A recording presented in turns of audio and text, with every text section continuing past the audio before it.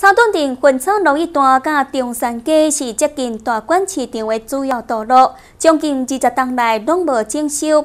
正正伫地方的乡亲定情之下，馆长李明正前往勘查，嘛只是工务处协助处理。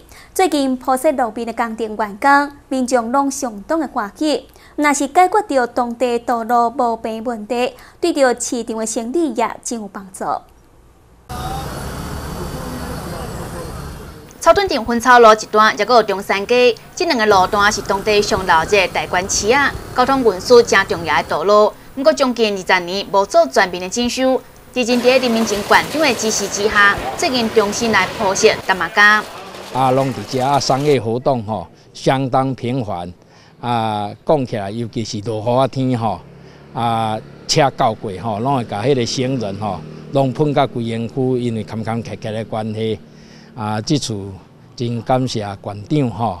为了讲了解工程施工的情形，咱们观音员跟进行一个跟正庭甲现场做着勘查。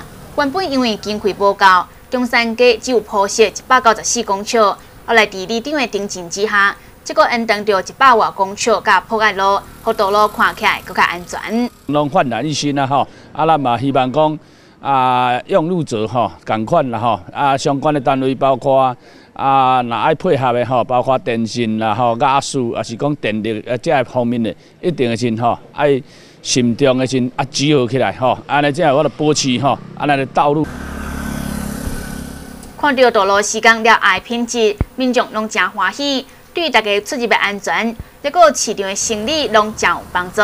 前的路吼，安尼哩哩落落，啊，即马这路用了足好诶，真有用心。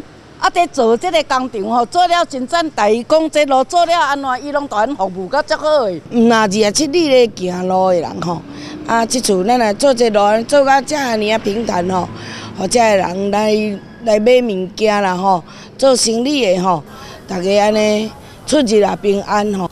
县政府表示，分草路中心来铺设两百四十公尺，中山街则是三百外公尺。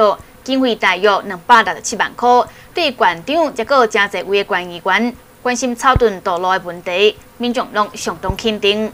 记者林明新采访报道。